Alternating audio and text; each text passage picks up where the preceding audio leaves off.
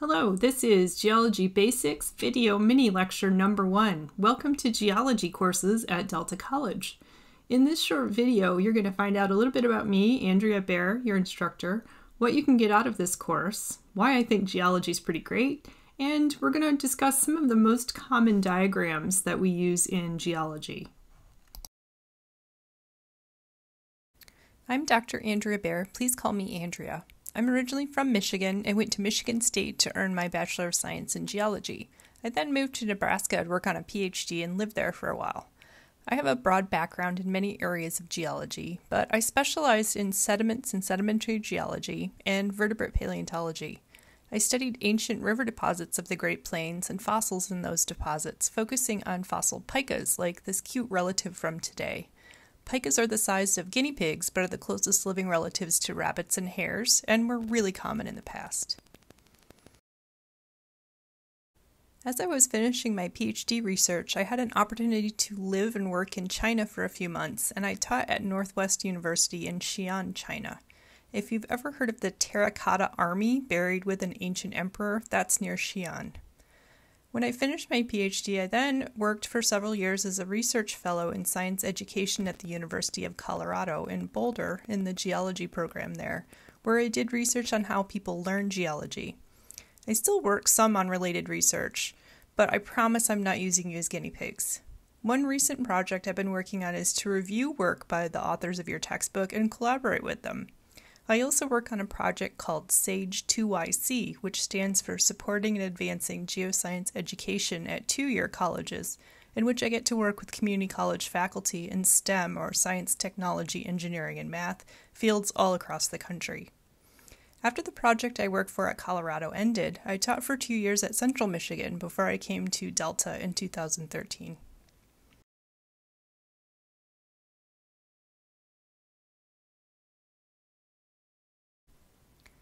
Most students in this course are interested in aspects of geology but are not planning to be geologists, and this class is for all of you.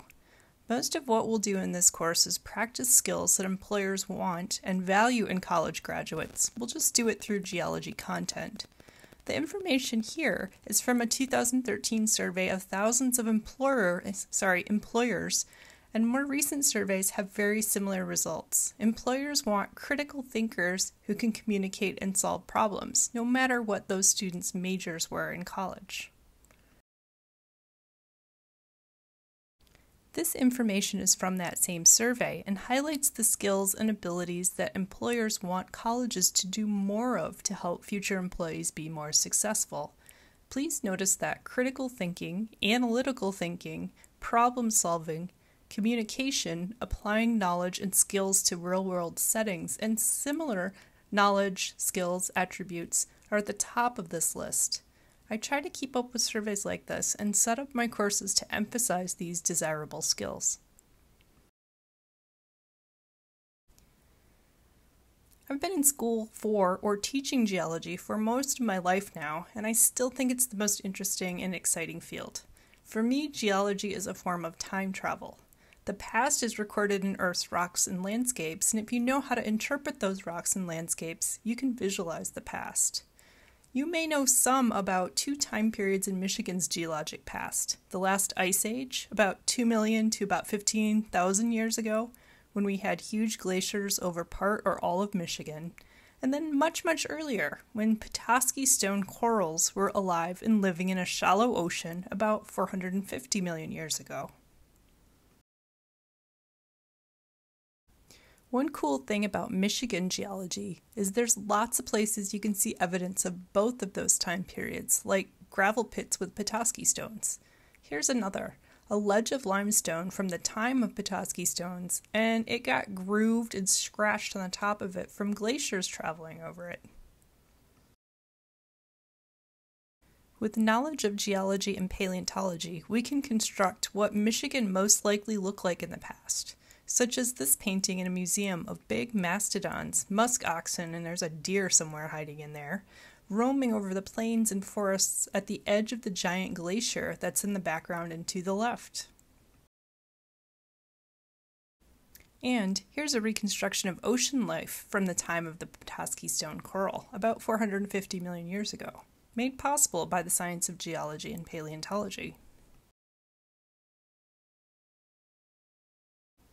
So, understanding the amazing places in Michigan, like the many sand dunes we have along the Great Lakes coast, is part of why I like geology, as is understanding and appreciating fossils like Petoskey stones. Geology also includes understanding our relationship with our environment. Maybe you recognize a problem with the quality of the water from Flint in these sets of samples. Understanding water resources and how to use them safely are also geologic issues. Geology impacts many aspects of our lives, but we often don't recognize how much it connects.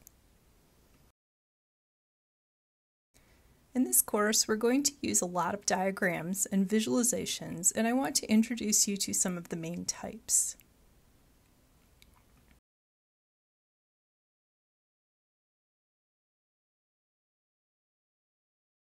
Today we're mostly going to focus on maps, cross sections, and then diagrams that show three dimensions, like block diagrams. Sometimes these are also called perspective views if it's in a photograph. So we're going to use a common feature to illustrate these different types of diagrams. What we're looking at here is Meteor Crater, also called Barringer Crater in New Mexico. This image is a photograph from an airplane that shows a perspective view of the crater. It's not taken from directly above or directly from the side. Some useful aspects of a perspective view is that it gives you a sense of the depth of the crater and it shows objects that give you some sense of scale, such as you can sort of see the paved road in black and parking lot, and there's a few cars there looking very, very small. This photograph is from directly above the crater, so it's called a map or top view. A map view gives an accurate representation of the size and the shape of the crater, but its depth and steepness are not represented. Sort of like you're flying above in an airplane or a bird, if you can imagine yourself as a bird.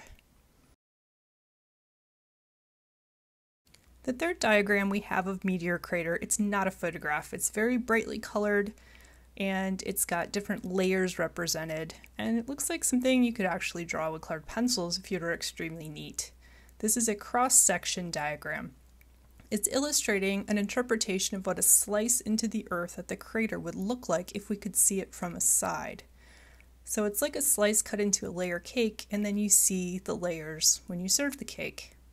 Cross sections are interpretations based on data. Here, the data used is study of rock types the current surface of the crater, and also a borehole drilled into the middle of the crater. Included also in reconstructing this setting is a lot of knowledge from other studies on crater formation.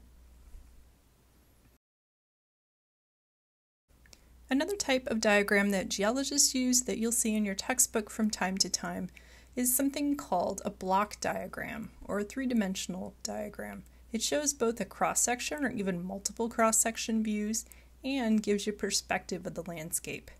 Here our example is the rock layers at the Grand Canyon. One really neat thing about this diagram is it shows volcanoes erupting near the rim of the canyon and lava flows going way down into the canyon. This is not something you can observe happening today. There aren't any active volcanoes near the Grand Canyon, but it did happen in the past few million years, and this diagram is trying to illustrate that.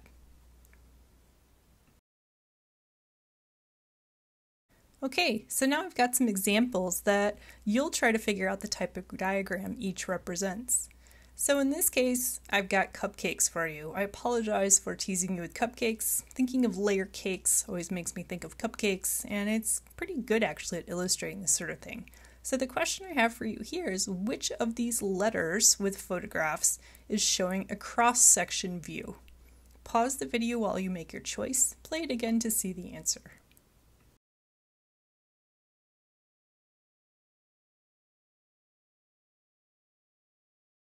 If you chose C as the cross-section view, you've got it, you're on the right track. Hopefully you would also say that B is a map view, or right from above, and then A would be a perspective view of these cupcakes.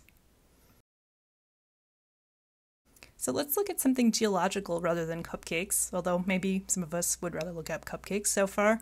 This is a volcano in Japan called Sakurajima, and I've got three images for you Which image, A, B, or C, shows a map view? Pause the video while you make your choice and play it again to see the answer.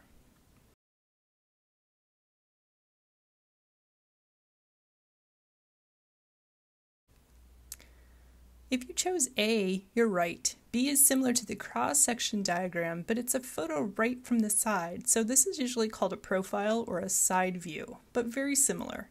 C would be the perspective view then. One more example here. These are all images or diagrams of the Grand Canyon. So take a look. Which one do you think, which letter shows a perspective view? Pause the video while you make your choice and play it again to see the answer.